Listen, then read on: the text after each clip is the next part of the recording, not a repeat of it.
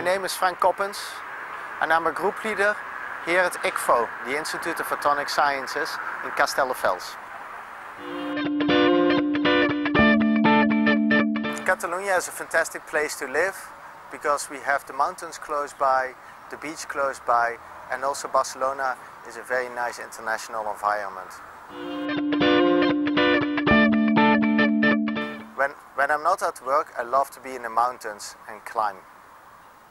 My, my favorite place to climb in Catalonia is uh, which is in uh, Prades.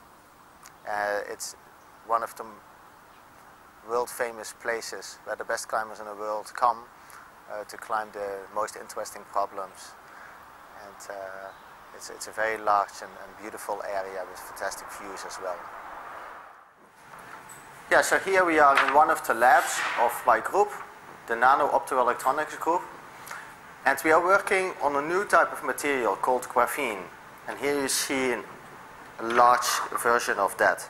And it's a very thin material, and it's actually 100 times thinner than this thin sheet of plastic.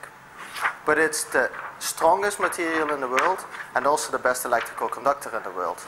And you may find this in future smartphones, for example, as a new type of system that can convert light to energy or that can work as a very good sensor to measure things about your health, for example, but also can see things in the dark that we cannot do with our conventional cameras. I came to ICFO because it's one of the best institutes in the world for doing research. And I came to ICFO because we have the best laboratories to make new technologies and new innovations that will have a real impact on society in the future. Thank you very much for coming by, but now we have to go back to work.